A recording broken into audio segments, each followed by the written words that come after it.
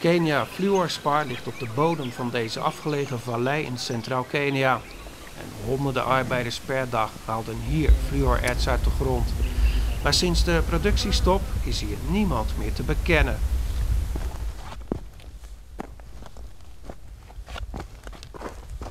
De ontslagen werknemers zitten al maanden thuis, zonder uitkering.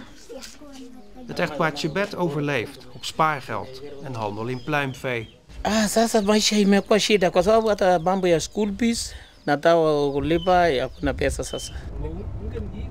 Nu zijn nog veel meer mensen in de vallei de dupe van de productiestop. Want de 400 getroffen gezinnen deden hun boodschappen bij de honderden marktkooplieden en eigenaars van kleine winkeltjes, die nu nauwelijks meer klanten hebben. Hetzelfde voor allerlei bedrijfjes, zoals onder meer deze garage. Ben Kosgei, lasser en vader heeft het zwaar. There is nobody to repair tire. There is no lorry walking here. All lorries are gone away now.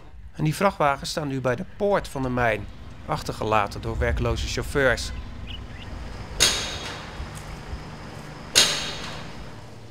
De machines voor het zuiveren van het fluorerts staan stil.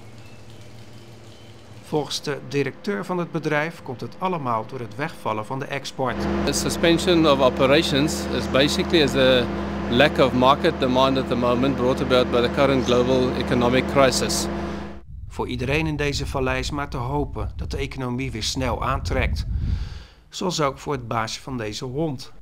Hij was shower en komt nog elke dag. Kenya ilikuwa ilikuwa inatusaidia sisi wote tukiwa wakaji hapa. Maar economisch herstel lijkt nog ver weg. En kan het een tijd gaan duren voor de mijn misschien weer open kan.